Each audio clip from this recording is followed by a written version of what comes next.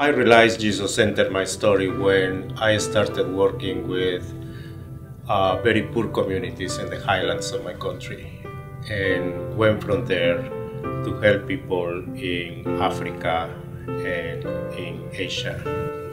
Uh, since then, I have devoted my life to help people around the world.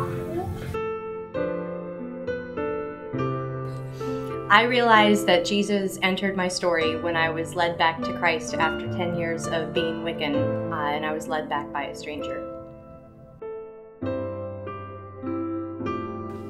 I realized Jesus entered my story when I had lost my family and I was in the orphanage, and I began praying for a family, and Jesus entered or answered my prayer um, three years later, and I was adopted with my sister.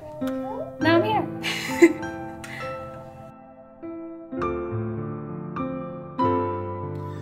I realized that Jesus entered my story when, after years of skepticism about religion, I looked into the Christian faith for myself and I was baptized with my daughter this year, and I couldn't be happier. I'm Carlos Piedrasanta, and I have a place in the story of Jesus. My name is Olga Lacour, and I have a place in the story of Jesus. I'm Jennifer Backus, and I have a place in the story of Jesus. I'm Jonathan Fuentes, and I have a place in the story of Jesus.